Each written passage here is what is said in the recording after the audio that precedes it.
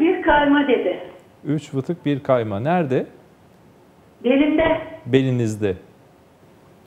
Şimdi tabii bunun Evet. ciddiyeti nedir ne değildir onu e, bilmek lazım. Bir muayenenizin yapılması lazım değil mi? Sizin sorduğunuz soruyla da aynı ilişkili. Cevabı, yani biz evet.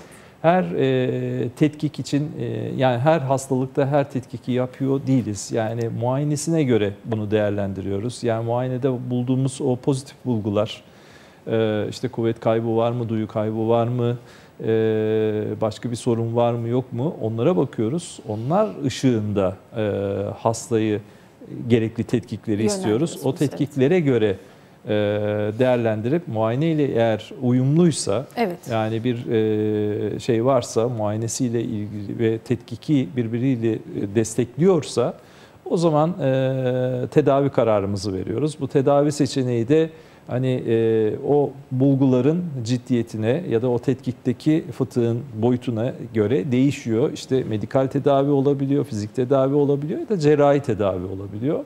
E, ve buna göre karar veriyoruz. Yani çünkü o kadar çok çeşitli neden olabiliyor ki boyun Evet. ağrısı oluşturabilen.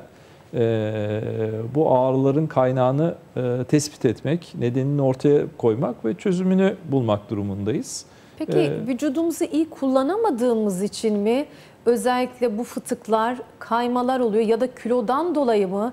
Besine bağlantısı var mı? Özellikle e, mevsim geçişlerine sıcakla soğukla bağlantısı var mı? Konunun başına gerçi soğuk havalar biraz etkili oluyor dedi değerli hocamız ama Soğuk havalar boyun ağrıları için yani Evet. tutulmalar için daha çok e, etken oluyor. Hani kulunç dediğimiz hadiseleri daha fazla görüyoruz soğuk Korsesiz havalarda. yürüyemiyorum hiç korsesiz.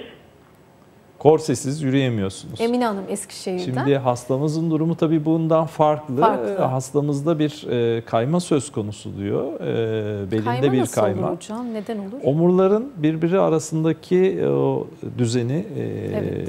de bir bozukluk meydana geliyor. Onu tutan elemanlarda bir e, problem varsa bir e, kırılma ya da e, dejeneratif bir sorun söz konusuysa o zaman kaymalar meydana gelebiliyor. İskeletimizi iyi bir kullanamıyoruz. travmayla. Travma. Hı. söz konusu olabilir. Yapısal bir defekte bağlı olabilir. Ee, ya da mikro travmaların oluşturduğu bir dejeneratif durum söz konusudur. Buna bağlı olarak bir kayma meydana gelmiştir. Eklemlerde bir bozukluk Bir vardır. kalp hastasıyım ben. Evet. Ee, işte o yüzden bunun derecesi bizim için önemli. Muayene bulguları bizim için önemli. Ee, onun için de hani doktorunuz size bunu e, en iyi bir şekilde açıklayacaktır. Yani bu kaymanın derecesine, sizdeki bulguların varlığına göre bir tedavi çözümü getirilecektir. İhmal etmesin değil mi Aynen hocam? öyle. Yani bunları dediğim gibi televizyonda Evet. çözüm bulmak çok zor. Öyle bir şey yok.